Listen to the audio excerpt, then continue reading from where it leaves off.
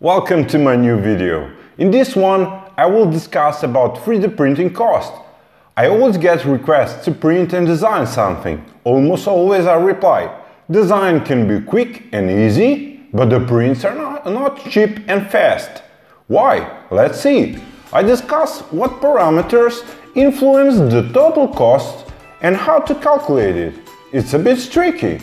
My final goal here is to make calculations in a format per print hour cost plus filament cost, as this is the quickest way to give out the final number.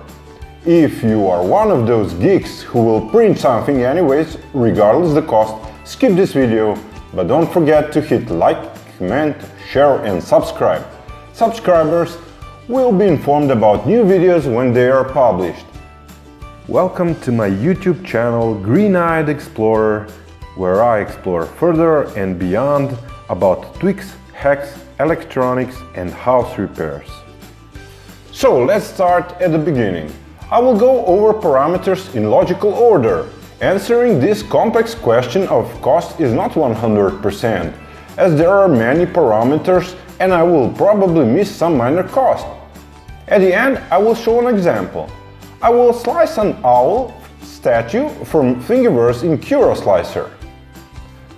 First, first one is initial printer cost. This brings a plethora of variables.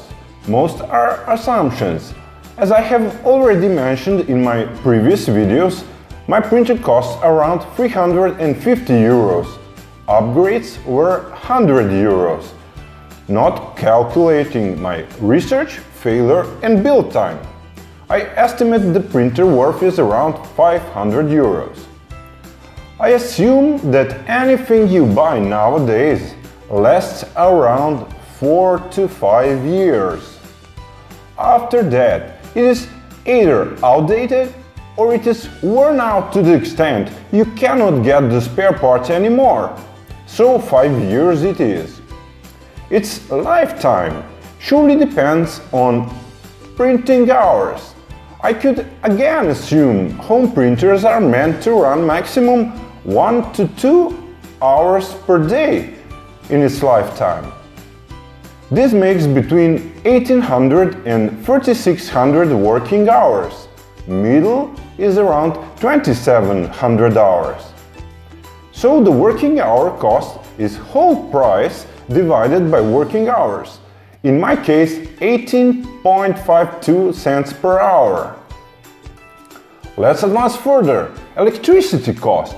I do most of my prints during the day as I want to supervise them. In my country, 1 kilowatt hour costs 16.6 cents. My printer has 200 watt power supplies. Luckily, I measure all individual power consumers in my house via my own home automation system. Startup heating takes full power, but afterwards they on average consume 140 watts per hour. This makes 2.32 cents per hour.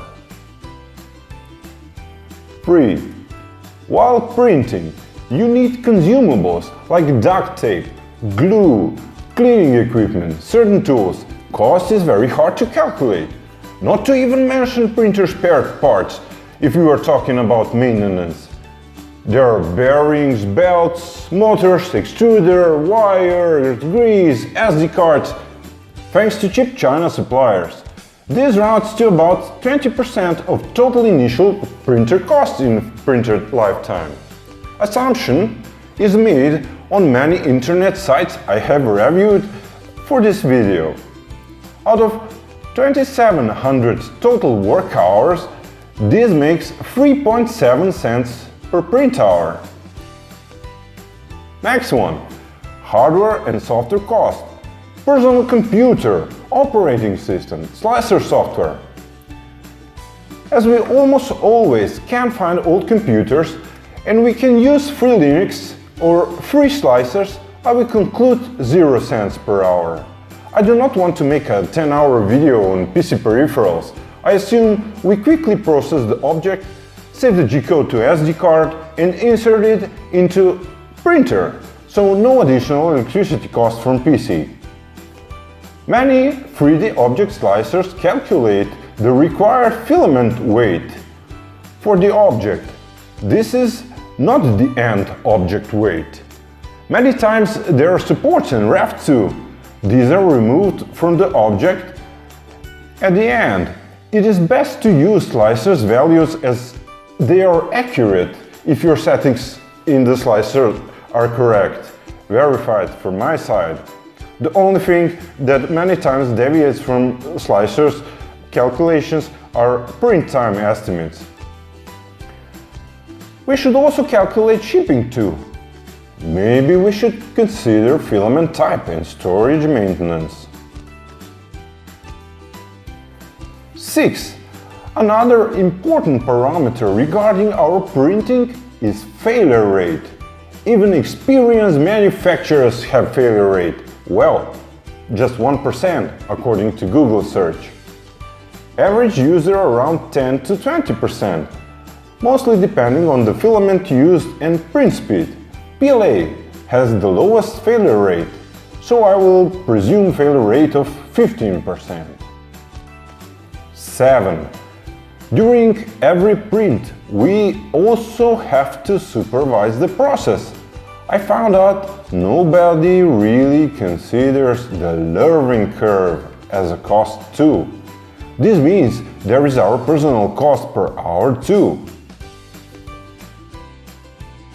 I chose Owl statue from Thingiverse. I used latest Repetier host and latest Cura slicer. You can see them run in parallel. In both cases I slice with Cura.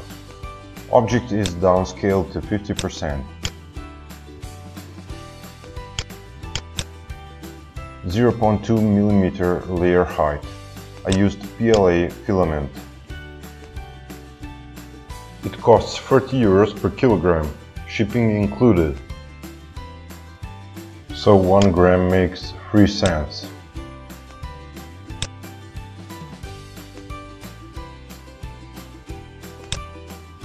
As you can already see, the inbuilt Repetier Cura slicer makes more cost. I cannot figure out the Cura version in it.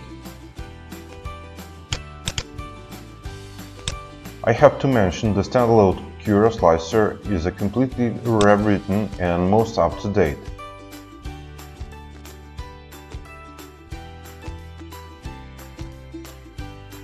You can also see the infill makes a great difference in cost.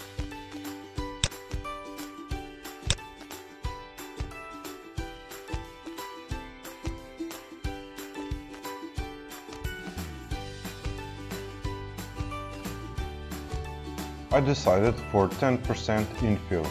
This takes my 75 minutes and 54 cents of my money for the filament.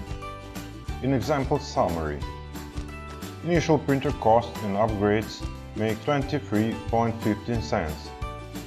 Electricity costs 2.9 cents. Consumables 4.62 cents. Hardware and software 0 cents.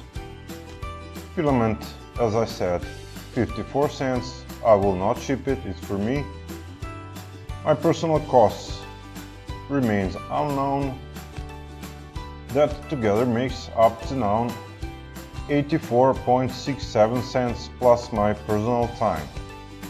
If I calculate my failure rate of 15%, in the total cost, this makes 97.37 cents in my personal time. While gathering statistics on internet, I found there are even some online calculators. You can see the links in the description below. Most of them just calculate filament and elect electricity cost. The most interesting one is the last one, which considers most of my parameters too. The suggested values differ a bit, but I'm sure of mine as I have proven them or have them found uh, throughout the internet. While searching, I have also found many 3D printing services throughout the world. Some of them are listed below. Thank you for watching this video. Don't forget to hit like, comment, share and subscribe. And see my other videos on YouTube.